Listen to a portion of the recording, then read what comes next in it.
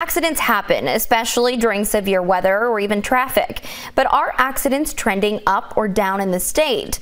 And how many involve motorcycles? We reached out to Kentucky State Police, the Kentucky Office of Highway Safety, and the Kentucky Transportation Cabinet to figure out if they are, as WBKO investigates tonight at 10.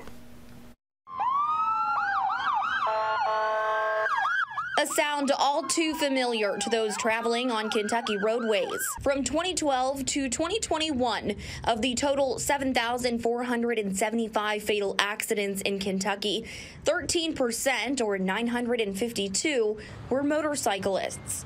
Uh, it seems like there's just more and more cars on the roadway. According to the Kentucky Office of Highway Safety, last year across the state, there were 620 fatal accidents. So far this year, there have been 645, with still two months to go in the year. Breaking it down to Warren County, there have been 11 fatal accidents this year, a lower number than the previous four years, but of those accidents, five involved motorcycles the motorcycle riders will go down. Um, but I think you see a lot of those collisions in the fall because people do want to get out and sightsee. They do want to go to the parks. They want to go see the foliage. And then you have uh, leaves that are falling, and especially if we have any type of precipitation, that really causes a roadway to be slick, especially to motorcycles. Kentucky law says you have to wear a seatbelt. But when you hop on your motorcycle, the law doesn't require most riders to wear a helmet. When you're on a motorcycle, there's just not as much protecting you around like there is in a vehicle. Uh, when you're in a, a, car or truck or an SUV, you have all this metal around you that at least gives you some protection, and and you don't have that in a motorcycle.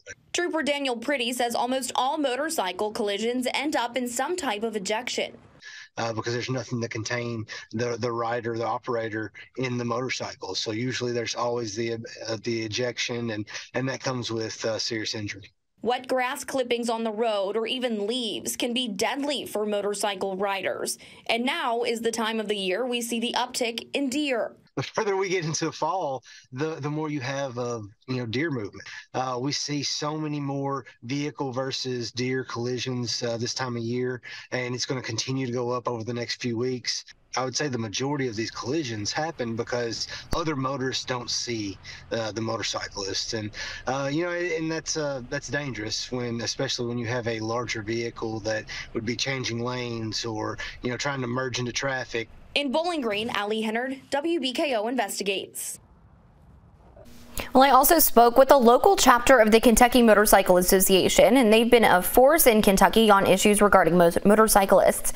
They've been able to affect elections and bills moving through the Kentucky legislature and the U.S. Congress.